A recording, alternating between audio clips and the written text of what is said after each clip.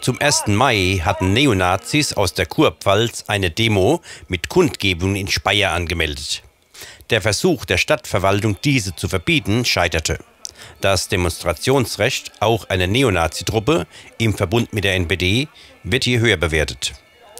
Das Speyerer Bündnis für Demokratie und Zivilcourage wollte ein solches Treiben nicht hinnehmen und hatte schon im Vorfeld zu einer friedlichen Gegenkundgebung eingeladen.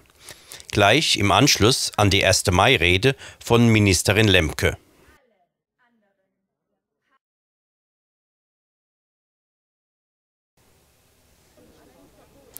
Angeführt also von der Ministerin und OB Eger, zeigten viele Speyerer Flagge und machten deutlich, dass in der Domstadt kein Platz für Neofaschisten ist. Die Polizei hatte den Zug der friedlichen Gegendemonstranten an der Kreuzung Kurt-Schumacher Straße im Abstand von 50 Meter gestoppt.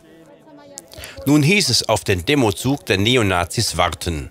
Axel Elfert als Versammlungsleiter hatte nun OB Eger Gelegenheit geboten, die Sicht der Stadt auf ein solches Nazitreiben kundzutun. Kompliment an hier alle, die sich in der Stadt, und ich weiß, es ist nicht nur hier, sondern auch sonst in der Stadt verteilt, die sich aufgemacht haben, um zu zeigen, dass Nazis, das rechtsextremes Gedankengut in Speyer kein gutes Pflaster hat. Soziale Themen aufgreifen und umdeuten, das war auch Neonazi-Masche an diesem 1. Mai.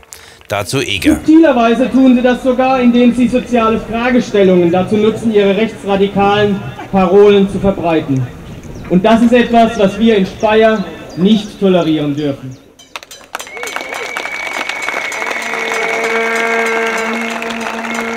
Sind, dass wir uns versammelt haben, um gemeinsam mit dem Bündnis für Demokratie und Zivilcourage für eine tolerante, weltoffene Stadt einzutreten, in der gerade kein Platz für rechtsradikales Gedankengut ist. Sie alle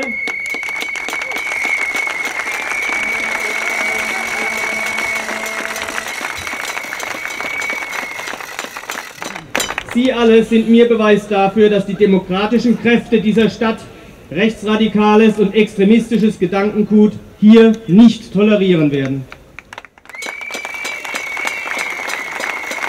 Wir leben in einer Stadt, deren Geschichte Toleranz der Völker und Religionen lehrt.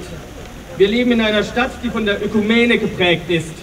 Bischof und Kirchenpräsident haben ihren Sitz hier in Speyer. Bereits im Mittelalter hat eine blühende jüdische Gemeinde ihre Heimat hier gefunden. Die Stadt hat die Protestation erlebt. Kürzlich haben wir am Guido-Stiftsplatz unter dem Namen Haus des Friedens, Beit Shalom, eine neue Synagoge eingeweiht und demnächst wird auch eine neue Moschee ihre Bestimmung übergeben. Speyer steht für Weltoffenheit und die Begegnung der Kulturen. Meldungen über gewaltsame Übergriffe auf ausländische Mitbürgerinnen und Mitbürger häufen sich. Gerade junge, und perspektivlose Menschen lassen sich von den Parolen und Argumenten rechter Organisationen überzeugen und mitreißen. Hier sind wir alle aufgefordert, politische Aufklärungsarbeit zu leisten. Äh, Herr Oberbürgermeister, äh, Sie hatten versucht, diesen Aufmarsch der Rechten zu verbieten. Das ist nicht gelungen. Sehen Sie das als Niederlage an? Ich sehe es nicht als Niederlage an. Äh, wir hatten ja den Aufmarsch verboten mit, wie wir finden, guten Gründen. Und das Verwaltungsgericht hat zwar den äh, Aufmarsch zugelassen, aber deutlich auch gesagt, dass die gewünschte Wegstrecke nicht zuzulassen ist. Wir konnten demzufolge dann anschließend eine andere Wegstrecke machen, weitere Auflagen erteilen, sodass ich mal jetzt sage, wir haben nicht gekriegt, was wir wollten, aber verloren haben wir auch nicht, insbesondere wenn man sich anschaut, wie gut besucht die Gegendemonstration ist, wie viele Menschen sich hier friedlich versammelt haben, um ihrem, ja, ihrer Meinung äh, und ihrem, ihrer Missbilligung gegen das extremistische Gedankengut Ausdruck zu verleihen. In Speyer selbst haben Neonazis mit ihrem Gedankengut keinen Platz. Und dann kamen sie doch. Als die Nazis passierten, machten Bürger lautstark ihrem Unmut über das rechte Treiben Luft. Nach Polizeiangaben marschierten ca. 300 Neonazis, die, so war allerdings aus den Transparenten zu sehen, aus einem Umkreis von der Hinterpfalz bis weit ins Badische reichten.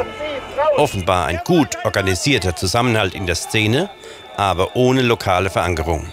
Und so war der Spuk der Nazi-Touristen nach Einstieg und Weiterfahrt mit Ziel Mannheim dann auch zu Ende.